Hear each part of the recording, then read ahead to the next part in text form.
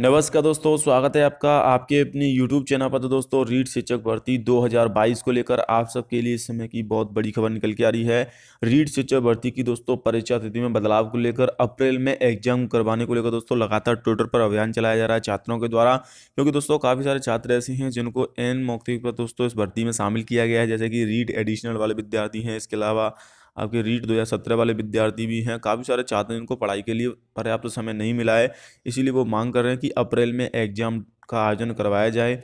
Forum reopen को लेकर भी मांग की जा रही क्योंकि काफ़ी सारे स्टूडेंट जो सेकेंड ईयर वाले छात्र, उनको भी दोस्तों आदेश दिए गए थे कि शामिल किया गया, लेकिन अपेयरिंग का ऑप्शन नहीं दिया गया। इस वजह से छात्रों ने आवेदन नहीं किए। तो उनको लेकर भी दोस्तों जुड़े बात करेंगे और लेवल सेकंड के आठ हज़ार पद बढ़ोतरी और बारह जिलों में एग्ज़ाम सेंटर बनवाने को लेकर। तो वीडियो को पूरा ज़रूर देख लेना। साथ में अगर आपने चैनल को सब्सक्राइब नहीं किया तो दोस्तों आपसे छोटी सी रिक्वेस्ट है, चैनल को ज़रूर सब्सक्राइब कर लें ताकि रीड की आपको लेटेस्ट अपडेट सबसे पहले चैनल के माध्यम से प्राप्त हो सके।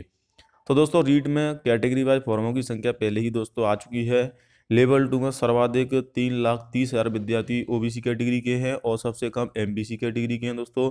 विशेष शिक्षा में सोलह हज़ार आवेदन आए हैं, जिसमें लेवल फ़र्स्ट में बारह हज़ार आए हैं दोस्तों और लेवल सेकंड में अंग्रेज़ी में दो सौ अठासी, हिंदी में आठ सौ तेईस, पंजाबी में इकतालीस संसद में एक सौ चौरानवे प्रकार से दोस्तों आपके एस एस टी में पंद्रह सौ चौरासी, टोटल आपके सोलह हज़ार चार सौ अठारह आवेदन विशेष शिक्षकों के इसमें आए हैं।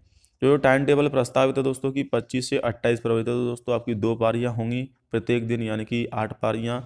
इसके अलावा दोस्तों एक मार्च को एक पारी होगी, यानी कि नौ पारियों पेपर का आयोजन किया जाएगा, जिसमें से आठ पारियों में रीट की लेवल टू की एग्ज़ाम होगी और एक पारी में लेवल फ़र्स्ट की एग्ज़ाम होगी। हालाँकि दोस्तों एग्ज़ाम डेट में बदलाव की छात्र मांग कर रहे हैं। लेकिन जो हरिप्रसाद शर्मा है या फिर बोर्ड है, उसने तैयारियाँ कर ली हैं दोस्तों। पेपर का आयोजन आपका फिक्स समय पर ही होगा। पहले नौ लाख तिरसठ हज़ार दो सौ तिरपन अभ्यर्थियों ने आवेदन किया था, लेकिन अब नौ लाख चौंसठ हज़ार नौ सौ पैंसठ, यानी कि नौ लाख पैंसठ हज़ार विद्यार्थी अब तक इस भर्ती के लिए आवेदन किया है।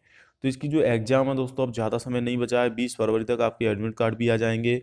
क्या फॉर्म रीओपन होंगे तो बिल्कुल भी नहीं होंगे दोस्तों फॉर्म रीओपन और एग्ज़ाम समय पर ही होगी तो आप अपनी तैयारी करते रहें। तीन सौ नंबर का पेपर होगा। तीन सौ नंबर के पेपर में आप कम से कम दोस्तों 180 से लेकर 240 के मध्य नंबर लाने की कोशिश करें, क्योंकि दोस्तों इसमें कट ऑफ़ इतनी ही आपको देखने को मिलेगी। एसएसटी में सबसे ज़्यादा कट ऑफ़ रहेगी एसएसटी हिंदी में, लगभग बराबर दोस्तों एक एक पद पर पचपन विद्यार्थी हैं। बारह जिलों में दोस्तों इसके एग्ज़ाम सेंटर बनाए गए हैं। सेंटर पर त्रिस्तरीय जाँच भी की जाएगी तो पूरी तैयारियाँ हो चुकी हैं दोस्तों। लेकिन जो छात्र आवेदन से वंचित रह गए थे, वो भी इसमें मांग कर रहे हैं कि उनको भी एक बार मौका मिलना चाहिए, लेकिन अभी तक दोस्तों इसमें फॉर्म रियूपन को लेकर बोर्ड ने कोई भी नोटिस जारी नहीं किया है और ना ही दोस्तों आपके शायद फॉर्म रियूपन होंगे। तो जितने भी छात्रों ने आवेदन किया है, वो अपनी तैयारी करते रहें। रीट शिक्षक भर्ती में पैंतालीस से लेकर आठ हज़ार के आसपास पद भी भर सकते हैं। और इसके लेकर दोस्तों, खुद बोर्ड ने इसकी पुष्टि की है कि आपके जो पद हैं, वो एग्ज़ाम से पहले बढ़ा दिए जाएँगे। लेवल टू में छः हज़ार पद कम किए गए थे और उसके बदले में पंद्रह सौ पद ही बढ़ाए गए थे। तो अंग्रेज़ी में एक पद पर छः विद्यार्थी हैं, उर्दू में सात विद्यार्थी हैं, हिंदी और एसएसटी में पचपन पचपन विद्यार्थी कंपटीशन की लाइन में रहने वाले हैं।